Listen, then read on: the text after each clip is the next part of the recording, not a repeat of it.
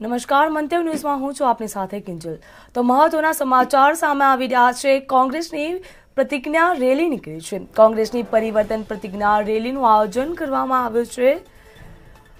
ત્યારે હિમાચલના કાગળ મેદાનમાં સભા આયોજન કરવામાં આવ્યું છે. હિમાચલના કાગળ મેદાનમાં સભાનું પણ આયોજન કરાયું તો વિશાળ જનમેદની આ કાર્યક્રમમાં ઉમટી પડી હતી. કોંગ્રેસ મહાસચિવ પ્રિયંકા ગાંધીએ પણ આમાં હાજરી આપી છે. ત્યારે પ્રિયંકા ગાંધીએ લાઈવ સંબોધન પણ કર્યું છે.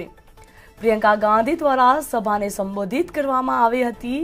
ત્યારે કોંગ્રેસની પરિવર્તન પ્રતિજ્ઞા રેલીનું આયોજન કરવામાં આવ્યું હતું.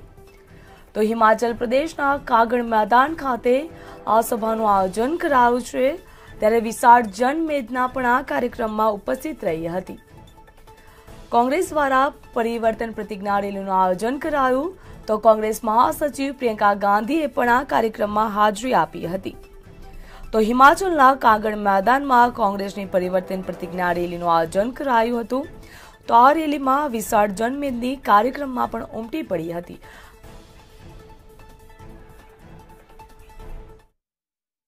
इसीलिए परमार जी जैसे वीरभद्र सिंह जी जैसे नेता आपको मिले आप ही की जमीन से उभरे अग्निहोत्री जी को देखिए, दिन रात आपके लिए एक करते हैं। सुबह शाम आपके लिए काम करते हैं। नेता प्रतिपक्ष हैं, विपक्ष में होते हुए आपकी आवाज़ दिन रात उठाते हैं।